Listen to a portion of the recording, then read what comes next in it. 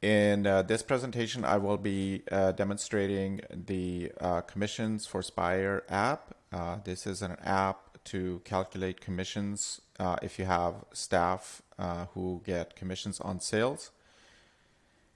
And the reason this app came about is that I saw there was nothing comparable or anything related to commissions in the market for Spire. And so uh, this uh, is an app that has very comprehensive functionality for calculating commissions, and it gives you a full insight as to how much in um, you're paying each uh, sales staff um, when it comes to uh, commissions. Uh, instead of having a report that may be designed to calculate commissions in a certain way, you can run it. You can see how much each salesperson is getting, but you don't have full insight into exactly how much and have the ability to quickly change commission rates. Uh, whereas uh, with a report, having to perhaps contact uh, your Aspire partner to modify the commissions. And again, this gives you full control over how much you're paying each person and um, how much uh, they are earning uh, for commissions on given sales orders and sales line items. And so, uh, what um, is uh, commissions for Spire? So the core um, commissions functionality and commissions for Spire allow you to define a commission percentage for each individual uh, salesperson. The enhance uh, commissions expands an organization's ability to drive work behavior of commission-based staff with the creation of flexible commissions schedules, whether the sales rep is a contractor, uh, employee, or vendor.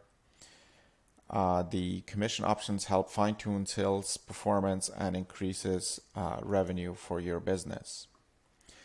So what are some examples of a more sophisticated enhanced commissions needs? So you may want to drive sales of a particular product line, and I'm going to demonstrate that, how to create a schedule. Assign commission schedules to reps and managers based on sales reps groups, uh, product types, customer types, and other criteria. Calculate commissions line by line on a sales order. And pay commissions based on sales total or profit vary commissions by salesperson, uh, customer, and other criteria. Pay commissions by AP check or by payroll time card posting. And I will be demonstrating these uh, different scenarios. So the first step here is to go and set up a salesperson to earn commissions. So I'm going to go to the salesperson screen. I'm going to take uh, John Arthur. And I'm going to say John is not a manager. Uh, calculate commissions for the salesperson, yes. And I'm going to give this salesperson a vendor number. take this vendor number from Spire.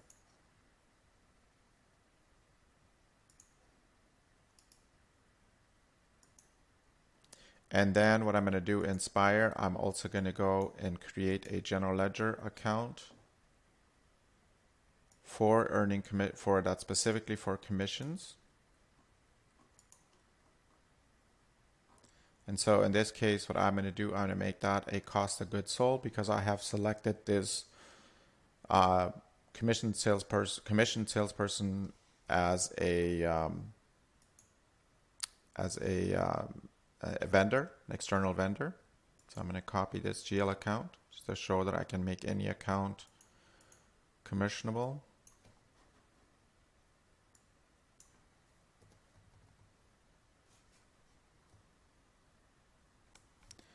Seven one one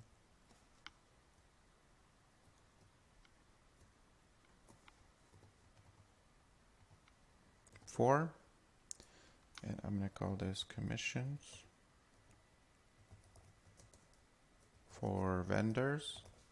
So I could, for example, have one GL account for commissions for vendors, one for commissions for employees, and so forth. And you'll see later on where that comes into play. And so I'm going to close this GL account. I'm going to go back to my commissions uh, interface, commission for Spire interface, and I'm going to say define my GL account. So one, four. I'm going to save the changes. In this case, I'm only going to be doing a commission schedule, uh, regular commission schedule. I could also add bonus schedules. Uh, bonus schedules and food companies sometimes come into play where you may pay a salesperson a commission based on the sales. So if they want over a certain number of sales, say 10,000, then they get a bonus. Okay, so I have set up John now uh, to earn commissions. And here in this case, I assign a vendor number. I said that he's a vendor so it's an external salesperson that you may have. In the next step I'm going to do, I'm going to go and set up some schedules uh, for John. And so I'm going to go and add a new uh, schedule here. So just be schedule number one. And then I will say this is for John, uh, warehouse,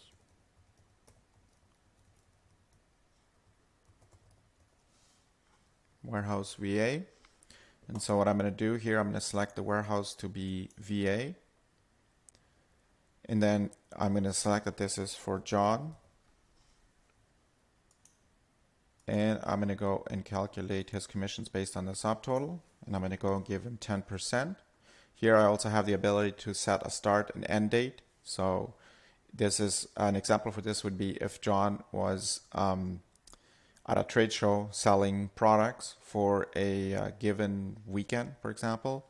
So you may want to encourage John to sell more or get more commissions when he sells at the trade show. So you may um, give him 15% if he sells at the trade show and then have a start and end date for the schedule. In this case, I won't set the start and end date. Okay, I've set up a schedule for John for the VA warehouse and I want to do another schedule that is very similar, but in this case for the Toronto warehouse. So this is schedule number two. Call this John warehouse TO. I'm going to set the warehouse to TO.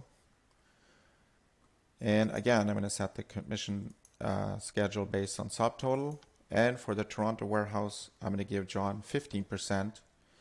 And the reason is that you may have a warehouse where you have products that you want to blow out. You may not want to uh, um, you may have expired products in that warehouse or close to expiry, and you may want to encourage John to sell uh, out of that warehouse. So you're giving him more commissions just to blow out those products. So I'm going to save this. Actually, here's one more thing the priority. I'm going to set it to number two, and I'll briefly explain what the priority is uh, later on uh, as well. So I've saved this schedule. And now I'm going to go and start the process of calculating commissions uh, for John. And so I'm going to go first apply a filter. Here you want to apply the filter date range. So if you're calculating commissions on a weekly basis, you would want to filter, for example, for last week. I'm just going to select a large uh, range of data uh, from this demo database. And so you can see I have 75 uh, entries for John. That's 75 invoices that it will check to see if commissions apply. So I'm going to go and click on run now. Okay. And now I'm going to go to my commissions earnings tab. And so here's John. John earned a total of uh, $10,852 in commissions for this period, for the date period I selected. And so I can further drill in now. I can go and drill into this. So I see my invoices uh, for John where commissions applied. And so I can see on each invoice how much commissions applied to it, $352.80, $556.50, and so forth. And I can also expand these invoices. I can see exactly which items are on this invoice. And so here too, I can go and see how much commission applied for each line item. So $18 for this, $320 for this line item, and 5 and $9, and so forth. So you can see with full transparency how much commission you're paying for each invoice. Now, say if I found a line or more than one line where the commissions did not apply correctly and I may want to revise my uh, schedules to a different percentage or add another schedule, I can delete this run as long as it's not paid. And I'm going to go, go and show later on how to pay an invoice. And so the next step I'm going to do, I'm now going to go and set up a schedule uh, for Mary. So Mary is not earning commissions currently. I'm going to go and select Mary. And so I'm going to say yes, calculate commissions for her. And then she's a vendor as well. And I'm just going to go and select uh, this vendor for Mary.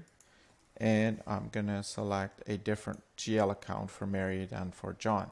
And so here you can define the GL accounts in case uh, the commission earnings are supposed to be posted to different GL accounts based on what uh, commissions you paid so that you can get detailed financials on the commissions at the GL level. So I'm going to save this. And so now I'm going to go uh, to my commission schedules and I'm going to go and set up two commission schedules for Mary. schedule number three. This is for Mary for the VA warehouse. And select the warehouse and filters. So as you can see, I have many other filters I can apply. I could specifically pay a commission on the part number based on description, product code, inventory type. Uh, and so there are many filters that I can uh, apply. And so what I'm going to do here, I'm going to leave Mary's unselected uh, even though this will only apply to Mary's sales that she currently has in the system. But I'm going to show how that will uh, play a role later on. And so you can see uh, commissions won't be duplicated.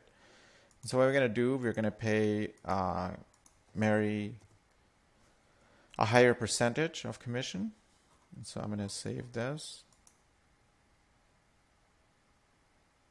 Okay, so I've created one for Mary. I'm going to go and create one for the Toronto warehouse as well for Mary. And so this will be the number four schedule. Mary for warehouse Toronto. And here again, I'm going to go and select the Toronto warehouse. And I will leave out Mary as well, just so you can show how the priorities and the calculation works where it doesn't uh, double up commissions again sales subtotal and I'm going to uh, select 20% for this as well save changes. So it's telling me that this will be a duplicate schedule that is because of the name. So I'm going to go Mary. This is for the Toronto warehouse. So as you saw, first of all, it won't allow you to create duplicate schedules, so you'll never have to worry about, again, doubling up commissions or paying commissions on something twice. And so now we have two schedules here for uh, Mary. And I'm going to go back to sales history now. And I'm going to apply a filter. Again, I'll make my date range uh, very large so that I will have some results. And I'm going to apply this filter, and this will also include John's uh, invoices in this filter.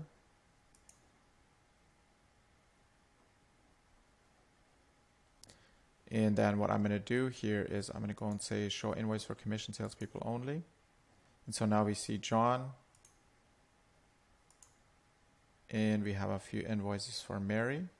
I believe that I have not created any invoices for Mary, so let me do that. Let's create a sales order for uh, Mary. Select any customer. And assign this to Mary.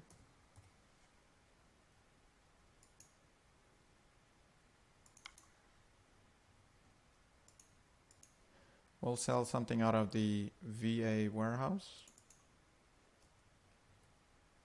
Sell 100 of these and I'm also going to go and sell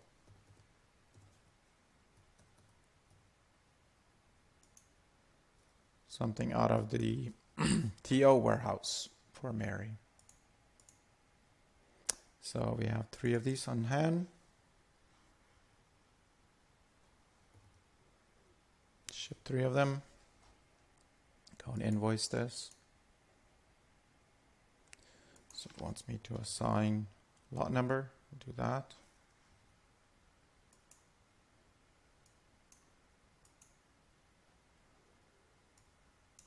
Particular item isn't working, so I'll just process that anyways. Okay, so now I've invoiced something for Mary. And I'm going to come back into the app. I'm just going to go and double check, make sure that I had Mary set to calculate commissions. He has a vendor assigned. Yep. So now let's go back to sales history.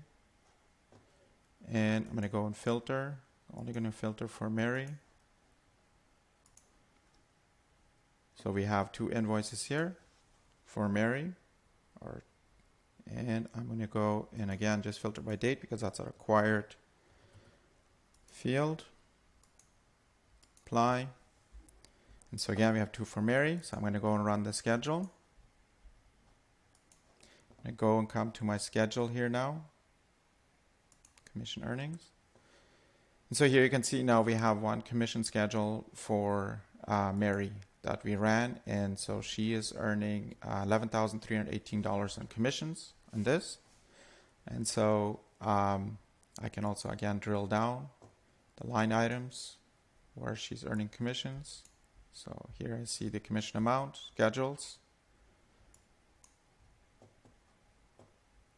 And so uh, briefly going back to the schedules, the priority on each schedule uh, is designed so that you will not uh, duplicate commission calculations. So you could, for example, have a VA uh, schedule where you have everything out of the VA warehouse, but for one particular part number, you are paying the um, uh, salesperson a higher percentage of commission. So then you would want the priority to be higher, uh, number one, than where you only include VA warehouses because you want that one part number for John to be calculated at a higher commission first, and then the rest go just based on the warehouse. And so the last step I'm going to go and demonstrate here is uh, paying for these commissions. And so as you saw before, John, I've set him up for his commissions to go to GL account 7114 and Mary is set up to go to 7111 for her commissions. And so I'll pay both of them so you can see how that works. So I'll go back to commission earnings. I'm going to go to first to John's earnings. I'm going to click on pay. And so now I can set the date. And so the subtotal, uh, there's taxes here, so that's why it calculates that as a subtotal.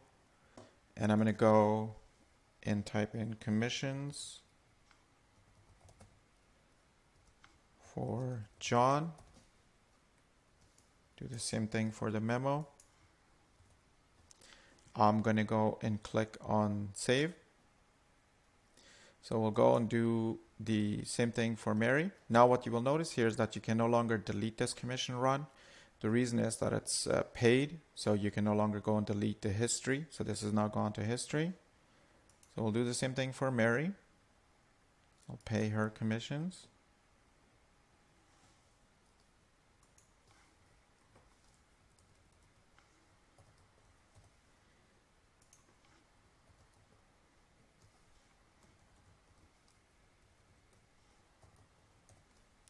Okay, and as you can see, it goes to GL uh, 71111.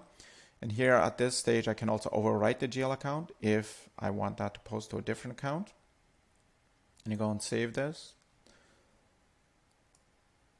The date is outside of valid range, so we'll do that one more time. And we'll select 2020. And I'll do that one more time for Mary.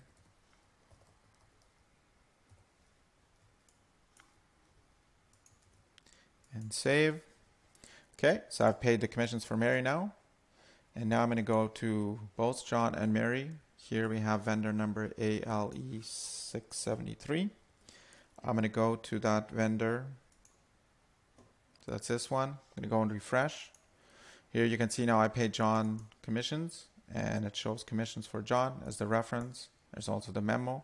And so it's now ready to pay John as a vendor from your accounts payable. I go and do the same thing with Mary. So this is Mary's uh, commission. So here we see commissions for Mary.